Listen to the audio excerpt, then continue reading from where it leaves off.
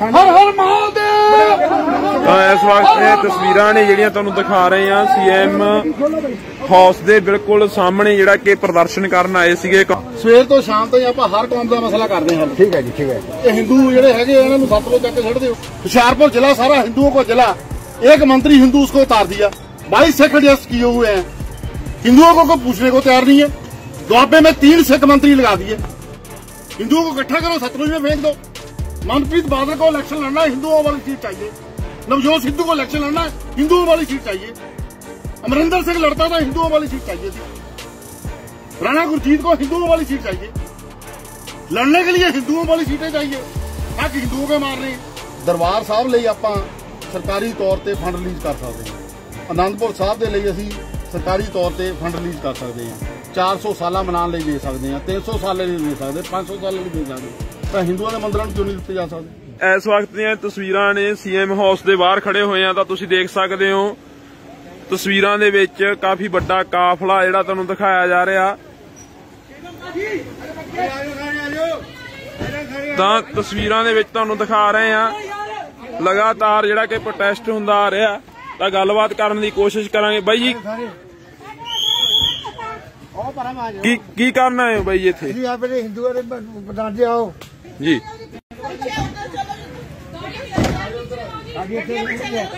ਕੀ ਤਾਂ ਇਧਰਲੇ ਪਾਸੇ ਚੰਡੀਗੜ੍ਹ ਜਿਹੜਾ ਪ੍ਰਸ਼ਾਸਨ ਆ ਉਹ ਵੀ ਖੜਾ ਹੋਇਆ ਹੈਗਾ। ਤਾਂ ਚੰਡੀਗੜ੍ਹ ਪ੍ਰਸ਼ਾਸਨ ਵਾਰ-ਵਾਰ ਕਹਿ ਰਿਹਾ ਕਿ ਗੱਡੀਆਂ ਨੇ ਜਿਹੜੀਆਂ ਪਿੱਛੇ ਲੱਗਣੀਆਂ ਚਾਹੀਦੀਆਂ। ਪਰ ਤੁਸੀਂ ਦੇਖ ਸਕਦੇ ਹੋ ਇਸੇ ਰਸਤੇ ਦੇ ਉੱਪਰ ਜਿਹੜੇ ਕਿ ਸੀਐਮ ਜਾਂਦੇ ਨੇ ਤਾਂ ਉਸੇ ਰਸਤੇ ਦੇ ਬਾਹਰ ਆ ਕੇ ਜਿਹੜੀਆਂ ਗੱਡੀਆਂ ਲਗਾ ਦਿੱਤੀਆਂ ਗਈਆਂ ਉਸੇ ਪਾਰਕਿੰਗ ਦੇ ਵਿੱਚ। ਤਾਂ ਗੱਲਬਾਤ ਕਰਨ ਦੀ ਕੋਸ਼ਿਸ਼ ਕਰਾਂਗੇ ਕਿ ਆਖਰ ਮੁੱਦਾ ਕੀ ਆ ਮਸਲੇ ਕੀ ਨੇ? ਤਾਂ ਤੁਹਾਨੂੰ ਦਿਖਾ ਰਹੇ ਆ ਤਸਵੀਰਾਂ ਨੇ ਜਿਹੜੀਆਂ। ਇਹ ਭਾਈ ਸਾਹਿਬ ਪ੍ਰਧਾਨ ਜੀ ਲਾ ਦਿੰਦੇ ਆ ਹਾਂਜੀ हमने तो पूरे खलबल बचा रखी है क्या चक्कर है ਕੋਈ ਗੱਲ ਵੀ ਸੁਣ ਲਵੇ ਸਾਡੀ हाँ हाँ कौन सुनाएगा बताओ 15 ਦਿਨ ਦੀ ਗੱਲ ਮੈਂ ਪਾਈ ਹੋ ਆ ਸੀਐਮ ਸਾਹਿਬ ਨੂੰ ਪਤਾ ਨਹੀਂ ਹੈਗਾ ਵੀ ਕੋਈ ਗੱਲ ਵੀ ਕਰਨੀ ਕਿਸੇ ਨਾਲ नहीं नहीं पता क्यों नहीं पता पता है ਨਹੀਂ ਮੇਰੀ ਗੱਲ ਸਮਝਿਓ ਹਾਂ। ਸਵੇਰ ਤੋਂ ਸ਼ਾਮ ਤਾਈਂ ਆਪਾਂ ਹਰ ਕੌਮ ਦਾ ਮਸਲਾ ਕਰਦੇ ਹਾਂ ठीक है जी ठीक है ਇਹ ਹਿੰਦੂ ਜਿਹੜੇ ਹੈਗੇ ਆ, ਇਹਨਾਂ ਨੂੰ ਸਤਲੁਜ ਚੱਕ ਕੇ ਛੱਡ ਦਿਓ ओ नहीं नहीं चेयरमैन साहब ऐसी क्या बात होगी नहीं मेरे को बता दो ना क्या बात है नहीं वो तो मेरे को इनका मंत्री कहता है हाँ जी। कि आपको इसलिए मैं जिला कांग्रेस का अध्यक्ष नहीं बनने दूँगा, क्योंकि मैं एक हिंदू हूँ। वो कहता है, जट सिख बनना चाहिए। हुशियारपुर जिला, सारा हिंदुओं को जिला। एक मंत्री हिंदू उसको उतार दिया। बाईस सिख एडजस्ट किए हुए हैं। हिंदुओं को पूछने को तैयार नहीं है। दुआबे में तीन सिख मंत्री लगा दिए। हिंदुओं को इकट्ठा करो, सतलुज में फेंक दो। मनप्रीत बादल को इलेक्शन लड़ना हिंदुओं वाली सीट चाहिए। नवजोत सिद्धू को इलेक्शन लड़ना है, हिंदुओं वाली सीट चाहिए। अमरिंदर सिंह लड़ता था, हिंदुओं वाली सीट चाहिए थी। राणा गुरजीत को हिंदुओं वाली सीट चाहिए लड़ने के लिए हिंदुओं वाली सीटें चाहिए हक हिंदुओं के मार रहे हैं छब्बीस सताई एमएलए होते थे हिंदुओं के दस ग्यारह रह गए हैं कितने जान हिंदू में दस सकते हो पंजाब के पैंती हजार बंदा मरिया अतवा च कदी किस ने उन्होंने मुआवजा देने की गल की इसका ड्राइवर कौन है गड्डी का ਉਹ ਇੱਧਰ ਖੜੇ ਆ बेटा साइड में लगा लो एक बार गड्डी चेयरमैन साहब गड्डी थोड़ा प्लीज़ साइड में प्लीज़ थोड़ा साइड में लगवा लो सीएम साहब की गड्डी रूट है। उनका रूट है कोई भी आ जा सकता है सर हमारी प्रॉब्लम समझ लो आप? गाड़ी थोड़ा साइड में पार्किंग में लगा लो आप इधर आ जाओ कोई दिक्कत नहीं आ जाओ। इधर ही है कहीं जाना कहा नहीं नहीं रोड तो यही खड़ा हो जहाँ जाना कहा है? चेयरमैन साहब हम ये कह रहे हैं। मैं कौन सा चेयरमैन सला जहाँ चपड़ासी लगाने को तैयार नहीं कोई। हम तो चेयरमैन मेरे चेहरे में हिंदू लिखा है ना? कोई बात अगर ना लिखा होता शायद लगा देते।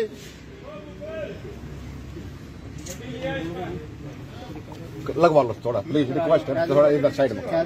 अपनी भी अपनी भी अपनी प्रॉब्लम थोड़ी। लगा दे गड्डी लगा दे ठीक है। हर हर महादेव!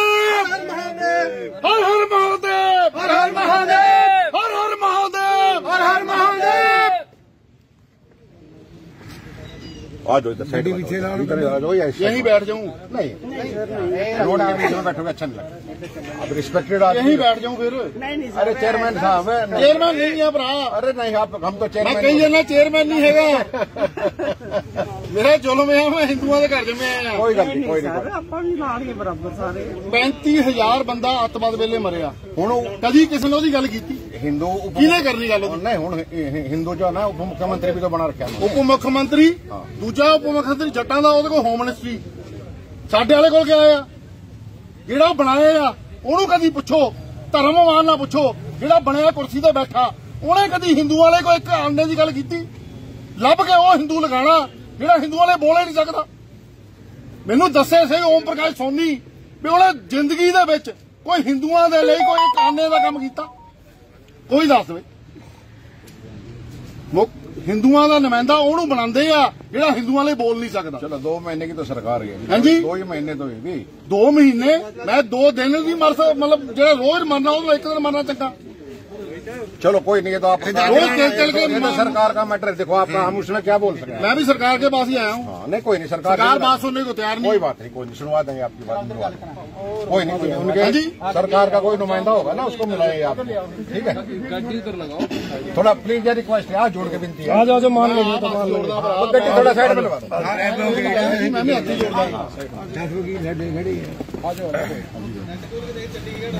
एस एच साहब है। और मतलब हमारी देखो ड्यूटी बन बनती है और आप लोगों को पता है भाई देखो ये लॉ एंड ऑर्डर की जो सिचुएशन है तो हमने देखी आपकी जो मांग डिमांड है आप हाँ, वो हमने मैं भी वकील ठीक है मैं भी वकील हाँ।, हाँ सात दिन सोच सोच के फैसला लिया। मैं को बेवकूफ़ नहीं है भी हवा में फैसला ले लिया। सात दिन सोच सोच के। नहीं डाउन आप सात दिन सोच सोच सुनिए सुनिए मेरी बात ਕੋਈ ਵੀ ਚੀਜ਼ ਹੈ ਉਸ ਜਿਸ ਬੰਦੇ ਨੇ ਬਾਤ ਚੀਜ਼ ਸੇ ਯਲੋ ਨਾ ਇੰਸਪੈਕਟਰ ਸਾਹਿਬ ਜਿਸ ਬੰਦੇ ਨੇ ਮਰਨ ਦਾ ਹੀ ਸੋਚ ਲਿਆ ਇਸ ਤੋਂ ਵੱਧ ਤਾਂ ਗੱਲ ਨਹੀਂ ਨਾ ਨਾ ਮਰਨ ਦੀ ਕਿਉਂ ਸੋਚ ਰਹੇ ਆਪ ਇਸ ਤੋਂ ਵੱਧ ਨਹੀਂ ਹੁੰਦੀ ਮਰਨੇ ਸੇ ਕੋਈ ਮਸਲੇ ਹੱਲ ਨਹੀਂ ਹੋਇਆ ਕਰਦੇ। ਭਗਤ ਸਿੰਘ ਮਰਿਆ ਸੀਗਾ। ਭਗਤ ਸਿੰਘ ਬੰਬ ਸਿੱਟ ਕੇ ਦੌੜ ਸਕਦਾ ਸੀ ਉਹ ਤਾਂ ਦੇਸ਼ ਦੀ ਦੌੜਿਆ ਨਹੀਂ ਉਹ। ਦੌੜਿਆ ਨਹੀਂ। ਕੁਰਬਾਨੀ। ਦਿੱਤੀ ਨਾ। ਐਸ ਕਰਕੇ ਦਿੱਤੀ ਵੀ ਕੌਮ ਜਾਗ ਸਕੇ। ਕਿਸੇ ਨੂੰ ਤਾਂ ਜਗਾਣਾ ਪਊ। ਓਮ ਪ੍ਰਕਾਸ਼ ਸੋਂਦੀ ਨਾ ਬੋਲੇ। ਜਿੰਨੇ ਹੋਰ ਕੁਰਸੀ ਤੇ ਬੈਠੇ ਉਹ ਨਾ ਬੋਲਣ। ਕਿਸੇ ਨੂੰ ਤਾਂ ਬੁਲਾਣਾ ਪਊ। ਕੋਈ ਤਾਂ ਬੋਲੂਗਾ ਹੀ। ਹਿੰਦੂਆਂ ਦੇ ਨਾਂ ਦੇ ਰਾਜ ਭੋਗਣਾ ਹਿੰਦੂਆਂ ਨੂੰ ਪੁੱਛਣਾ ਕਿਸ ਨੇ ਕੋਈ ਤਾਂ ਬੋਲੂ ਗਈ ਸਾਡੀਆਂ ਗਊਸ਼ਾਲਾ ਨੂੰ ਬਾਦਲ ਸਾਹਿਬ ਵੇਲੇ ਬਿੱਲ ਨਹੀਂ ਬਿਜਲੀ ਦਾ ਆਂਦਾ ਸੀਗਾ। ਇਹਨਾਂ ਨੇ ਬਿਜਲੀ ਦਾ ਬਿੱਲ ਵੀ ਲਗਾ ਦਿੱਤਾ। 12 12 ਲੱਖ ਰੁਪਏ ਬਿਜਲੀ ਦਾ ਬਿੱਲ ਖੜਾ। ਅੱਛਾ ਇੱਕ ਵਾਰ ਗੱਡੀ ਤੁਹਾਡਾ ਪਾਓ ਸੈਸ ਇਕੱਠਾ ਕਰਦੇ ਆ। ਕੀ ਨਾਮ? ਸਰ ਇੱਕ ਵਾਰ ਰਵਿੰਦਰ ਜੀ। ਗੱਡੀ ਲਾ ਦਿਓ। ਗੱਡੀ ਲਾ ਦਿਓ। ਬੇਟਾ ਗੱਡੀ ਸਰ ਸਾਈਡ ਮੇ ਲਾ ਦਿਓ ਪਾਰਕਿੰਗ ਤਾਂ ਸੈਸ ਇਕੱਠਾ ਹੁੰਦਾ। ਬਿਜਲੀ ਦਾ ਬਿੱਲ ਉਹ ਚ ਦਿੱਤਾ ਜਾ ਸਕਦਾ। ਕੋਈ ਬਾਤ ਉਹ ਬਿਜਲੀ ਦਾ ਬਿੱਲ ਵੀ ਇਸ ਵੇਲੇ ਖੜੇ 12 12 ਲੱਖ ਰੁਪਏ ਬਿਜਲੀ ਦਾ ਬਿੱਲ। ਕੱਲੀ ਕੱਲੀ ਗਊਸ਼ਾਲਾ ਉੱਤੇ ਖੜਾ। ਐਸੀ ਕਮਿਊਨਿਟੀ ਦੇ ਜਿਹੜੇ ਹੈਗੇ ਆ, ਬੱਚੇ ਉਹਨਾਂ ਨੂੰ ਐਜੂਕੇਸ਼ਨ ਸਹੂਲਤਾਂ, ਹੋਰ 50 ਜਗ੍ਹਾ ਇਕਨੋਮਿਕਲ ਹੈਲਪ ਹੈਗੀ ਆ। ਮੈਂ ਕਹਿੰਦਾ ਹੋਰ ਵੀ ਵੱਧ ਤੋਂ ਵੱਧ ਜੋ ਮਿਲ ਸਕਦੀ ਉਹ ਦਿੱਤੀ ਜਾਣੀ ਚਾਹੀਦੀ ਆ। ਸਿੱਖ ਕਮਿਊਨਿਟੀ ਦੇ ਜਿਹੜੇ ਲੋਕ ਆ, ਉਹਨਾਂ ਨੂੰ ਮਾਈਨੋਰਟੀਜ਼ ਦੇ ਵਿੱਚ ਬਹੁਤ ਸਾਰੀਆਂ ਸਹੂਲਤਾਂ ਦਿੱਤੀਆਂ ਜਾਂਦੀਆਂ। ਜੋ ਹੋਰ ਉਹਨਾਂ ਦਾ ਰਾਈਟ ਬਣਦਾ ਉਹਨਾਂ ਨੂੰ ਉਸ ਤੋਂ ਵੱਧ ਦਿਓ ਭਾਵੇਂ।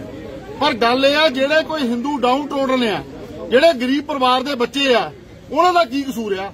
ਕੁਝ ਉਹਨਾਂ ਨੂੰ ਵੀ ਦੇ ਦਿਓ। ਉਹਨਾਂ ਨੂੰ ਕੌਣ ਦਊਗਾ? ਇਹ ਸਰਕਾਰ ਨਹੀਂ ਦਊਗੀ ਹੋਰ ਕੌਣ ਦਊਗਾ?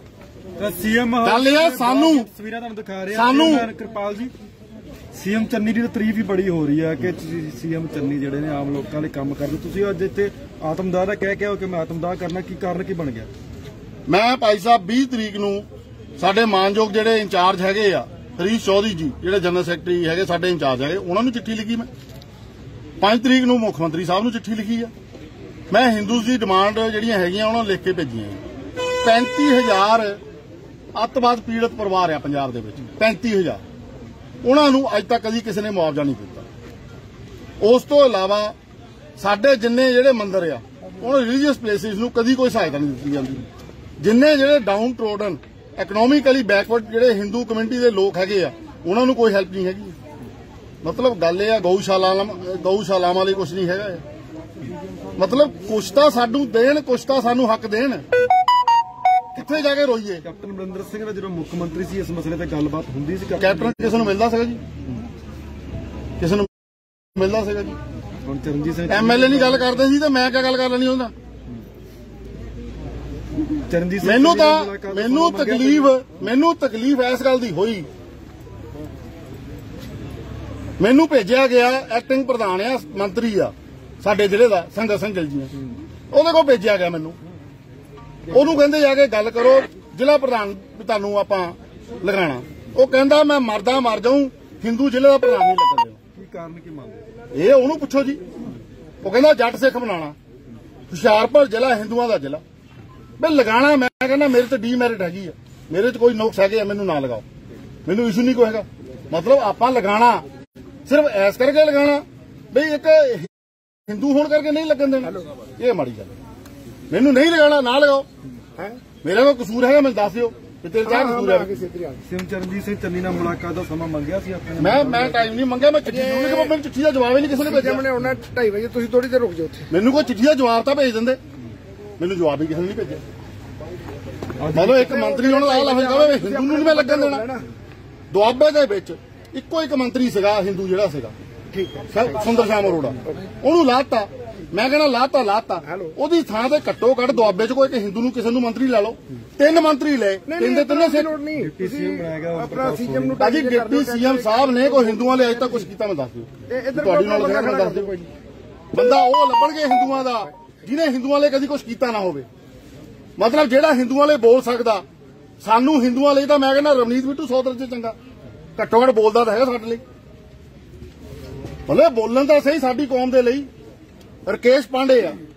ਸੱਤ ਵਾਰ ਵਾਲਾ ਐਮਐਲਏ ਜਿੱਤਿਆ ਆ। ਉਹ ਮੰਤਰੀ ਕਿਉਂ ਨਹੀਂ ਬਣਿਆ ਜੀ? ਉਹਦੇ ਬਾਪ ਨੇ ਸ਼ਹਾਦਤ ਦਿੱਤੀ ਐ ਇਸ ਕਰਕੇ। ਮੇਨ ਮੁੱਖ ਮੰਗਾਂ ਕੀ ਤੁਹਾਡੀਆਂ? ਮੁੱਖ ਮੰਗਾਂ ਹੈ ਜੀ ਪੰਜਾਬ ਦੇ ਵਿੱਚ 35,000 ਤੁਹਾਡੇ ਲਈ ਜੇਕਰ ਗੱਲ ਕੀਤੀ ਜਾਵੇ ਹਿੰਦੂ ਵੋਟ ਵੀ ਬਹੁਤ ਦੁਆਬੇ ਦੇ ਵਿੱਚ। ਮੇਨ ਮੰਗਾਂ ਕੀ ਨੇ ਤੁਹਾਡੀਆਂ? ਕੀ ਕੀਤਾ ਜਾਵੇ ਤੁਹਾਡੇ ਲਈ? 35000 ਅੱਤਵਾਦ ਪੀੜਤਾਂ ਲਈ ਜਿਹੜਾ ਹੈਗਾ ਮੁਆਵਜ਼ਾ ਦਿੱਤਾ ਜਾਵੇ। ਜਿਹੜਾ ਵੀ ਕੋਈ ਹੈਗਾ ਭਾਵੇਂ ਹਿੰਦੂ ਆ ਭਾਵੇਂ ਉਹ ਸਿੱਖ ਆ ਭਾਵੇਂ ਕੋਈ ਐਸੀ ਆ ਜਿਹੜੇ ਪਰਿਵਾਰਾਂ ਨੇ ਅੱਤਵਾਦ ਦੌਰਾਨ ਆਪਣੀਆਂ ਸ਼ਹਾਦਤਾਂ ਦਿੱਤੀਆਂ, ਉਹਨਾਂ ਪਰਿਵਾਰਾਂ ਨੂੰ ਮੁਆਵਜ਼ਾ ਮਿਲਣਾ ਚਾਹੀਦਾ ਹੈ। ਪਹਿਲੀ ਮੰਗ। ਦੂਜੀ ਮੰਗ ਇਹ ਆ, ਜਿਹੜੇ ਹਿੰਦੂ ਮੰਦਿਰ ਆ ਸਾਡੇ। ਚਾਰ ਪੰਜ ਸਾਡੇ ਹਿੰਦੂ ਮੰਦਿਰ ਆ। ਦੁਰਗਿਆਨਾ ਮੰਦਿਰ ਹੋ ਗਿਆ ਦੇਵੀ ਤਲਾ ਮੰਦਿਰ ਹੋ ਗਿਆ। ਸਾਡੇ ਗੜਸ਼ਾਹ ਚ ਉੱਥੇ ਭਵਾਨੀਪੁਰ ਹੈਗਾ ਹਰੀ ਦੇਵੀ ਮਾਤਾ ਦਾ ਮੰਦਿਰ ਹੋ ਗਿਆ। ਦਸੂਏ ਹੈਗਾ, ਪਾਂਡਵ ਸਰੋਵਰ ਹੋ ਗਿਆ। ਮੰਦਰਾਂ ਲਈ ਸਾਡਿਆਂ ਲਈ ਕੁਛ ਨਾ ਕੁਛ ਕੀਤਾ ਜਾਵੇ। ਸਿਰਫ ਇੱਕ ਲੰਗਰ ਦੇ ਉੱਤੇ ਜੀਐਸਟੀ ਮਾਫ ਕਰ ਦਿੱਤੀ। ਜਦੋਂ ਦਰਬਾਰ ਸਾਹਿਬ ਲਈ ਆਪਾਂ ਸਰਕਾਰੀ ਤੌਰ ਤੇ ਫੰਡ ਰਿਲੀਜ਼ ਕਰ ਸਕਦੇ ਹਾਂ। ਆਨੰਦਪੁਰ ਸਾਹਿਬ ਦੇ ਲਈ ਅਸੀਂ ਸਰਕਾਰੀ ਤੌਰ ਤੇ ਫੰਡ ਰਿਲੀਜ਼ ਕਰ ਸਕਦੇ ਹਾਂ। 400 ਸਾਲਾਂ ਮਨਾਉਣ ਲਈ ਦੇ ਸਕਦੇ ਹਾਂ 300 ਸਾਲਾਂ ਲਈ ਦੇ ਸਕਦੇ 500 ਸਾਲਾਂ ਲਈ ਦੇ ਸਕਦੇ। ਤਾਂ ਹਿੰਦੂਆਂ ਦੇ ਮੰਦਰਾਂ ਨੂੰ ਕਿਉਂ ਨਹੀਂ ਦਿੱਤੇ ਜਾ ਸਕਦੇ? ਮੰਗ ਕੀਤੀ ਤੁਸੀਂ ਕਰੀ ਬਿਲਕੁਲ ਲਿਖ ਕੇ ਭੇਜਿਆ ਜੀ ਮੈਂ। ਲਿਖ ਕੇ ਭੇਜਿਆ ਆ। ਦੂਜੀ ਗੱਲ ਜਿੰਨੇ ਜਿਹੜੇ ਡਾਊਨ ਟਰੋਡਨ ਸਾਡੇ ਇਕਨੋਮਿਕਲੀ ਵੀਕ ਸੈਕਸ਼ਨ ਹੈਗਾ ਸਾਡਾ। ਜਿੰਨੇ ਸਾਡੇ ਡਾਊਨ ਟਰੋਡਨ ਲੋਕ ਹੈਗੇ ਆ ਉਹਨਾਂ ਨੂੰ ਇਕਨੋਮਿਕਲੀ ਹੈਲਪ ਹੋਣੀ ਚਾਹੀਦੀ। ਜਿਹੜੇ ਉਹਨਾਂ ਦੇ ਬੱਚੇ ਆ, ਜਿਹੜੇ ਉਹ ਪਰਿਵਾਰ ਆ, ਜਿਨ੍ਹਾਂ ਪਰਿਵਾਰਾਂ ਨੂੰ ਕੋਈ ਪੁੱਛਦਾ ਨਹੀਂ ਹੈਗਾ ਆ, ਉਹਨਾਂ ਪਰਿਵਾਰਾਂ ਲਈ ਵੀ ਕੁਝ ਨਾ ਕੁਝ ਹੋਣਾ ਚਾਹੀਦਾ ਹੈ ਉਹਨਾਂ ਨੂੰ ਸਿੱਖਿਆ ਦੇ ਵਿੱਚ ਸਹੂਲਤ ਮਿਲੇ, ਉਹਨਾਂ ਨੂੰ ਸ਼ਗਨ ਸਕੀਮ ਜਿੱਦਾਂ ਬਾਕੀਆਂ ਨੂੰ ਮਿਲਦੀ, ਉਦਾਂ ਮਿਲੇ। ਬਿਜਲੀ ਦੇ ਬਿੱਲ ਜਿੱਦਾਂ 200 ਯੂਨਿਟ ਬਾਕੀਆਂ ਦੇ ਮਾਫ ਹੈਗੇ ਆ। ਉਹਨਾਂ ਦੇ ਵੀ ਜਿਹੜੇ ਇਕਨੋਮਿਕਲੀ ਵੀਕਰ ਸੈਕਸ਼ਨ ਹੈ ਉਹਨਾਂ ਦੇ ਵੀ 200 ਯੂਨਿਟ ਮਾਫ ਹੋਣ। ਉਹਨਾਂ ਨੂੰ ਕਿਉਂ ਨਹੀਂ ਸਹੂਲਤ ਹੈਗੀ? ਗਊਸ਼ਾਲਾ ਦਾ ਦੇਖੋ ਜਿਹੜਾ ਬਾਦਲ ਸਾਹਿਬ ਦੀ ਸਰਕਾਰ ਦੇ ਵੇਲੇ ਬਿਜਲੀ ਦਾ ਬਿੱਲ ਮਾਫ ਸੀਗਾ। ਸਾਡੀ ਸਰਕਾਰ ਨੇ ਬਿੱਲ ਲਗਾਤਾ ਬਿੱਲ ਵਸੂਲੇ ਨਹੀਂ ਹੈਗੇ ਪਰ 11 11 12 12 ਲੱਖ ਰੁਪਇਆ ਬਿੱਲ ਬਿਜਲੀ ਦਾ ਸਾਰੀਆਂ ਗਊਸ਼ਾਲਾ ਉੱਤੇ ਪੈਂਡਿੰਗ ਖੜਾ ਹੈ। ਉਹ ਦੱਸੋ ਉਹਨੂੰ ਕੌਣ ਕੌਣ ਜਮ੍ਹਾਂ ਕਰਾਊਗਾ? ਕਾ- ਕਾਓ ਸੈਸ ਆਪਾਂ ਕੱਢਦੇ ਆ ਕਾਓ ਸੈਸ ਦੇ ਵਿੱਚੋਂ ਹੀ ਉਹਨੂੰ ਕੱਟ ਕੇ ਤੁਸੀਂ ਬਿੱਲ ਜਮ੍ਹਾਂ ਪਹਿਲਾਂ ਹੀ ਕਰਾ ਦਿਓ ਗਵਰਨਮੈਂਟ ਕਰਾ ਦੇਵੇ। ਜੇ ਮੁੱਖ ਮੰਤਰੀ ਵੱਲੋਂ ਮੰਗਾਂ ਮੰਨ ਲਈਆਂ ਜਾਂਦੀਆਂ ਮੁਲਾਕਾਤ ਦਾ ਚੰਗੀ ਗੱਲ ਆ। ਮੁਲਾਕਾਤ ਮੇਰਾ- ਮੇਰੀ ਮੰਗ ਇਹ ਹੈ ਜਦੋਂ ਕਿਉਂਕਿ ਰੋਜ਼ ਹਜ਼ਾਰਾਂ ਲੋਕ ਜਿਹੜੇ ਆ ਮੁਲਾਕਾਤ ਕਰਨ ਆਉਂਦੇ ਮੇਰੀ ਮੰਗ ਮੁਲਾਕਾਤ ਦਾ ਸਮਾਂ ਮੇਰੀ? ਮੰਗ ਹੀ ਇਹ ਆ ਵੀ ਉਹਨਾਂ ਦੀ ਮੰਗਾਂ ਨੂੰ ਪੂਰਾ ਕਰ ਦਿੱਤਾ ਮੈਂ ਤਾਂ ਹੋਰ ਕਹਿੰਦਾ ਕੱਖ ਨਹੀਂ ਹੈਗਾ ਜੀ। ਮੈਨੂੰ ਆਪਣੇ ਲਈ ਕੁਝ ਨਹੀਂ ਚਾਹੀਦਾ। ਮੁਲਾਕਾਤ ਦਾ ਸਮਾਂ ਕਿਉਂ ਨਹੀਂ ਕਿਹਦੇ ਲੱਗਦਾ ਕੋਲੋਂ ਮੰਗਾ ਜੀ ਮੈਨੂੰ ਦੱਸ ਦਿਓ ਜੀ। ਤੁਸੀਂ ਕਾਂਗਰਸ ਦੇ ਚੇਅਰਮੈਨ ਹਾਂ, ਚਲੋ ਤੁਹਾਡਾ। ਬਰੀਫਿੰਗ ਹੋ। ਗਈ ਹੈ। ਜੇ ਬਰੀਫਿੰਗ ਹੋ ਗਈ ਤੁਸੀਂ ਕੋਈ ਟਾਈਮ ਲਿਆ ਸੀਐਮ ਸਾਹਿਬ ਤੋਂ ਜਾਂ। ਕੋਈ ਹੋਸਟੀ ਤੋਂ? ਮੈਂ ਨਹੀਂ ਲਿਆ ਜੀ। ਨਹੀਂ ਲਿਆ। ਨਹੀਂ ਲਿਆ। ਕਿੰਨੇ ਬੰਦੇ ਆ ਤੁਹਾਡੇ ਨਾਲ? ਬੰਦੇ ਹੈਗੇ ਸੀ ਜੀ ਬਾਈ ਇਸ ਤਰ੍ਹਾਂ ਹੈ, 144 ਲੱਗੀ ਪਿੱਛੇ ਨੂੰ ਠੀਕ ਹੈ ਜੀ। ਰੈਲੀ ਕਰਨਾ ਕੋਈ ਵੀ ਕਰਨਾ ਤਾਂ ਡੈਡੀਕੇਟਡ ਜਗ੍ਹਾ ਚੰਡੀਗੜ੍ਹ ਚ 25 ਮੈਂ ਕੋਈ ਧਰਨਾ ਨਹੀਂ ਲਾ ਰਿਹਾ ਕੁਝ ਨਹੀਂ ਲਾ ਰਿਹਾ ਚਲੋ ਰੈਲੀ ਕਰਨਾ ਜੋ ਵੀ ਕੋਈ ਨਾ ਮੇਰੀ ਕੋਈ ਰੈਲੀ ਹੈ ਨਾ ਕੋਈ ਧਰਨਾ ਠੀਕ ਹੈ ਚਲੋ ਤੁਸੀਂ ਫਿਰ ਉਨੀ ਦੇਰ ਥਾਣੇ ਬੈਠੋ। ਅਸੀਂ ਤੁਹਾਡਾ ਟਾਈਮ ਲੈ ਕੇ ਦਿੰਨੇ ਹਾਂ। ਜੇ ਤੁਹਾਡੀ ਕਿਸੇ ਨਾਲ ਮੰਗ ਹੈ ਕਿ ਕਿਹਨੂੰ ਨੂੰ ਮਿਲਣਾ ਚਾਹੁੰਦੇ ਹੋ? ਕੋਈ ਦੱਸ ਦਿਓ ਉਹ ਅਸੀਂ ਅੱਗੇ ਸੀਐਮ ਉਸ ਗੱਲ ਕਰਾਂਗੇ। ਮੈਂ ਤਾਂ ਮੰਗਾ ਜੀ ਮੰਗਾ ਪੂਰੀਆਂ ਕਰ ਦੇਣਾ ਮੈਂ ਮਿਲ ਕੇ ਵੀ ਮੈਂ ਕੀ ਕਰਨਾ ਜੀ? ਨਹੀਂ ਕਿਹਨੂੰ ਮਿਲਣਾ ਚਾਹੁੰਦੇ ਹੋ? ਕੋਈ ਮੈਂ ਤਾਂ ਚਿੱਠੀ ਲਿਖ ਕੇ ਪਾਈ ਹੋ ਆ ਜੀ। ਮੈਂ ਕੋਈ ਮੇਰੀ ਨਾਮ ਮੁੱਖ ਮੰਤਰੀ ਭੇਜੀ ਪਾਈ ਹੋਈ ਹੈ? ਮੁੱਖ ਮੰਤਰੀ ਸਾਹਿਬ ਨੂੰ ਪਾਈ ਹੈ। ਮੁੱਖ ਮੰਤਰੀ ਸਾਹਿਬ ਹਾਂਜੀ। ਮੁੱਖ ਮੰਤਰੀ ਤੋਂ ਟਾਈਮ ਲੈਣਾ ਚਾਹੁੰਦੇ ਹੋ? ਮੁੱਖ ਮੰਤਰੀ ਠੀਕ ਹੈ ਉਨੀ ਦੇਰ ਰਹੋ ਵੀ ਆਪਣਾ ਇਹਨਾਂ ਨੂੰ ਥਾਣੇ ਉੱਥੇ? ਇੱਥੇ ਆਪਾਂ ਨਾਲ ਰੈਲੀ ਕਰਨਾ 140 ਲੱਗੀ ਨਹੀਂ ਖੜਾ ਚਲੋ ਜੀ। ਚਲੋ ਹਰ ਹਰ ਤਾਂ ਇਸ ਵਕਤ ਇਹ ਤਸਵੀਰਾਂ ਨੇ ਜਿਹੜੀਆਂ ਤੁਹਾਨੂੰ ਦਿਖਾ ਰਹੇ ਆ ਸੀਐਮ ਹਾਊਸ ਦੇ ਬਿਲਕੁਲ ਸਾਹਮਣੇ ਜਿਹੜਾ ਕਿ ਪ੍ਰਦਰਸ਼ਨ ਕਰਨ ਆਏ ਸੀਗੇ ਕਾਂਗਰਸ ਦੇ ਕੁਝ ਕੁ ਨੁਮਾਇੰਦੇ ਸੀ ਜਿਹੜੇ, ਪਰ ਉਧਰਲੇ ਪਾਸੇ, ਦੂਜੇ ਪਾਸੇ ਜੇਕਰ ਗੱਲ ਕਰੀਏ ਤਾਂ ਚੰਡੀਗੜ੍ਹ ਪ੍ਰਸ਼ਾਸਨ ਵੱਲੋਂ ਬੜੇ ਸਲੀਕੇ ਨਾਲ ਇਹਨਾਂ ਦੇ ਨਾਲ ਗੱਲ ਕਰੀ ਗਈ ਆ। ਤਾਂ ਇਹ ਤਸਵੀਰਾਂ ਨੇ ਜਿਹੜੀਆਂ ਤੁਹਾਨੂੰ ਦਿਖਾ ਰਹੇ ਆ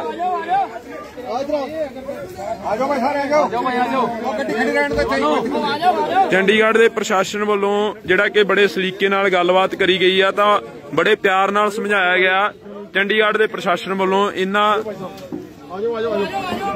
ਪ੍ਰਦਰਸ਼ਨਕਾਰੀਆਂ ਨੂੰ ਜਿਹੜੇ ਕਿ ਕੁਝ ਕੁ ਨਿੱਜੀ ਮੰਗਾਂ ਸੀ ਇਹਨਾਂ ਦੀਆਂ, ਉਹਨਾਂ ਨੂੰ ਲੈ ਕੇ ਆਏ ਹੋਏ ਸਨ। ਤਾਂ ਇਸ ਵਕਤ ਸਾਡੇ ਨਾਲ ਚੰਡੀਗੜ੍ਹ ਦਾ ਜਿਹੜੇ ਪ੍ਰਸ਼ਾਸਨ ਅਧਿਕਾਰੀ ਨੇ, ਉਹ ਵੀ ਮੌਜੂਦ ਨੇ। ਉਹਨਾਂ ਨਾਲ ਵੀ ਗੱਲਬਾਤ ਕਰਨ ਦੀ ਕੋਸ਼ਿਸ਼ ਕਰਾਂਗੇ। ਇਹ ਤਸਵੀਰਾਂ ਨੇ ਜਿਹੜੀਆਂ ਤੁਹਾਨੂੰ ਦਿਖਾ ਰਹੇ ਆ ਤੇ ਜੋ ਵੀ ਮੰਗਾਂ ਨੇ, ਕਿਹਾ ਜਾ ਰਿਹਾ, ਚੰਡੀਗੜ੍ਹ ਪ੍ਰਸ਼ਾਸਨ ਵੱਲੋਂ ਬੜੇ ਪਿਆਰ ਨਾਲ ਇਹਨਾਂ ਨੂੰ ਗੱਲ ਕਰੀ ਗਈ ਆ। ਆਓ ਭਾਈ ਆਓ। ਹਲੋ ਆਪਣੇ ਦੋ ਚਾਰ ਬੰਦੇ ਆਓ ਆਓ ਜਾਓ। ਹਾਂ ਹਾਂ ਕੋਈ ਬਿਠਾਓ ਬਿਠਾਓ ਬਿਠਾਓ। ਸਰ ਬੜੇ ਪਿਆਰ ਨਾਲ ਇਹਨਾਂ ਨੂੰ ਸਮਝਾਇਆ ਗਿਆ ਗੱਲ ਕਰੀ ਗਈ ਚੰਡੀਗੜ੍ਹ ਪ੍ਰਸ਼ਾਸਨ ਵੱਲੋਂ। ਇਹਨਾਂ ਦੀ ਕੋਈ ਮੁਲਾਕਾਤ ਕਰਨ ਦੀ ਗੱਲ ਹੋਏਗੀ ਹੁਣ ਇਸ ਤੋਂ ਇਹਨਾਂ ਨੇ ਪਹਿਲਾਂ ਨਹੀਂ ਦੱਸਿਆ ਸੀ ਜੀ ਅਸੀਂ ਹੁਣ ਸੀਐਮ ਹਾਊਸ ਕੰਟੈਕਟ ਕਰਕੇ ਜੇ ਕਿਸੇ ਅੱਜ ਵੈਸੇ ਤਾਂ ਗੁਰਪੁਰਬ ਦਾ ਦਿਨ ਹੈ। ਜੀ। ਛੁੱਟੀ ਦਾ ਦਿਹਾੜਾ ਪਰ ਫਿਰ ਵੀ ਅਸੀਂ ਕੋਸ਼ਿਸ਼ ਕਰਦੇ ਹਾਂ ਕੋਈ ਅਗਰ ਜ਼ਿੰਮੇਵਾਰ ਬੰਦਾ ਕੋਈ ਐਸਡੀ ਜਾਂ ਕੋਈ ਨੁਮਾਇੰਦਾ ਸੀਐਮ ਸਾਹਿਬ ਦਾ ਮਿਲਦਾ ਤਾਂ ਇਹਨਾਂ ਦੀ ਜ਼ਰੂਰ ਮੁਲਾਕਾਤ ਕਰਾ ਦਿੰਦੇ ਜੀ ਬਿਲਕੁਲ। ਤਾਂ ਕਿਹਾ ਗਿਆ ਕਿ ਚੰਡੀਗੜ੍ਹ ਪ੍ਰਸ਼ਾਸਨ ਵੱਲੋਂ ਜੇਕਰ ਕੋਈ ਵੀ ਬੰਦਾ ਮਿਲਦਾਗਾ ਤਾਂ ਅਸੀਂ ਗੱਲਬਾਤ ਜ਼ਰੂਰ ਕਰਵਾਵਾਂਗੇ। ਤਸਵੀਰਾਂ ਨੇ ਜਿਹੜੀਆਂ ਤੁਹਾਨੂੰ ਦਿਖਾਈਆਂ ਨੇ ਇਸ ਵਕਤ ਦੀਆਂ। ਤਸਵੀਰਾਂ ਦੇ ਵਿੱਚ ਸਾਫ਼ ਨਜ਼ਰ ਆ ਰਿਹਾ ਹੈਗਾ ਤੁਸੀਂ ਦੇਖ ਸਕਦੇ ਹੋ। ਸੀਐਮ ਹਾਊਸ ਦੇ ਬਾਹਰ ਦੀਆਂ ਤਸਵੀਰਾਂ ਨੇ ਜਿਹੜੀਆਂ ਤੁਹਾਨੂੰ ਦਿਖਾਈਆਂ ਜਾ ਰਹੀਆਂ ਨੇ। ਚੰਡੀਗੜ੍ਹ ਪ੍ਰਸ਼ਾਸਨ ਦੇ ਵੱਲੋਂ ਜਿਹੜਾ ਕਿ ਕਿਹਾ ਗਿਆ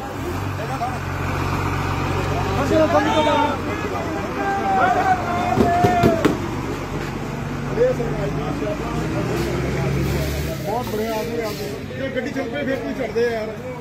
ਸ਼ਰਮ ਕਰੋ ਯਾਰ। ਤਾਂ ਦੇਖਦੇ ਹਾਂ ਕਿ ਕੀ ਬਣਦਾ ਅੱਗੇ, ਕੀ ਹੁੰਦਾਗਾ।